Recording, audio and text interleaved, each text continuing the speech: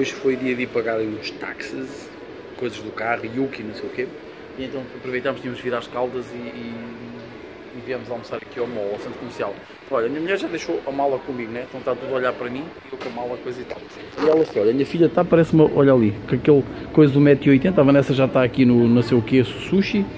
Ou seja, basicamente sai um sushi para a Vanessa, nuggets e batata frita para o filho. A, ela não sei o que é que é e eu vou buscar uma franzinha, vou inventar uma franzinha já. A gente já. Aqui o nosso menino, o nosso menino já escolheu, ó, batata frita e nuggets, como qualquer menino desta idade, né? A Vanessa foi chá, chá, chá, chá, foi aqui. Vou comer Esse aqui. a carne de vaca com gambas Eu já fui lá no, ah, lá à frente, aquele amarelo, foi, ah, é, como é que se chama? Ah, francesinha. 6 euros, está doido? Yeah. Olha, paguei o mesmo Oh, menos pá, maravilha. E este menu foi quanto? 2 ou 3, 3 ou 4, 5? Ah, 4,20. 4 euros esta. Hum. Ah, eu, é assim, um dia deixa Ah, tem uma bebida também, ok, ok. Um dia deixa quero vir aqui e a gente pede um sushi para partilhar. Está bem. E é só que também não é nada de jeito. Eu não gosto muito. Não, mas tem, tem vários diferentes. E a gente pede um que seja, tenha vários diferentes e partilhar às vezes, entendes? Agora, experimentar, mas a minha filha vem neste estado assim que vocês veem só para me fazer sentir mal. Ó. Vem com aquele 1,90m com aqueles saltos, né? Fica com 1,90m. Esta- Eu estou a tentar não filmar ninguém. Estamos a fazer uma entrevista. É, isto é um apanhado disto. Será que eu consigo o seu número de telefone ou não? Olha, a filha. Ó. Está-me a dar uma gorjeta. Ou seja, uma pasta de 4 queijos, é isso? Sim. Queres mexer nisso? Ah, tu não tem garfo? Ah, Ai, olha. Queres mexer só para ver a consistência disso? A sério, filha, vais pagar 5 ou 6 euros por uma coisa que não é. Olha aí. Ok, parece que o prato é mais fundo do que o que eu pensava. Ai, a cabrutidade. Porra. Ah, não, assim vale a pena. E, tem ovinho e tem. os próprios ingredientes e tal. E Eu escolheste. tentei ser um bocado diferente porque eu normalmente peço Ai, já estás a mandar fora a comida. Este não tá. por Isto aqui é o quê? É pineapple and eggplant. Aí, é pá, tão É bom. bom, né? Vá, adeus, vou ver a minha francesinha. Ó, a Vanessinha escolheu isto. Estão a ver, ó. Japonesada, uma coisa fina. Quem pode, pode, né? Vanessa pode, come, né? Ai, roubaram a comer ao filho. Ó, irmão.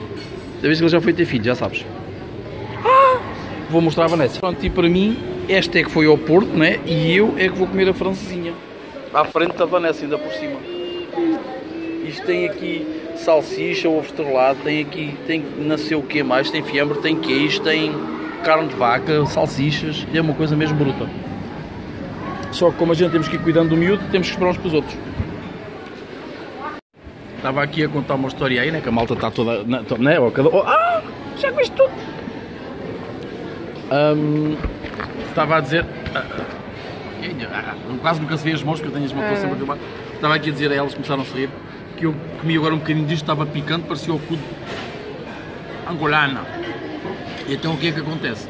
Que eu cheguei lá à mulher e disse uma brasileira que está ali naquela casa amarela e disse: Então tens os batatas estás a comer a minha, ó desgraça. Eu vou comer os dele. E então eu disse-lhe ela: Olha, minha amiga, eu queria uma franzinha, mas você ponha picante nisso, estás a apontar para baixo. Ponha picante nisso como se eu fosse ex- ex-marido e você me quisesse matar. E não é que a cabra pôs mesmo e está picante para a cara aí, elas estavam-se a rir. Tá Agora é a vez da filha falar. O que é que esse momento estava bom? E a Vanessa, que é a primeira vez. ah, Este abriu há muito Ah. pouco tempo. Abriu há muito pouco tempo e. E, e pronto, e estamos a experimentar. O que é que achas, Vanessa? Recomendas? Ela recomenda. E tu, Oliver, recomendas os nuggets? Hum, Sim. Mulher desgraçada. ok. Bandida. Só digo uma coisa: aquela gaja, essa brasileira que ali está, devia ter levado porrada do marido e por isso é que ela fugiu para cá. E agora eu falei no ex-marido e ele. Pumba. Mandou-me o pau a mim. Tchau.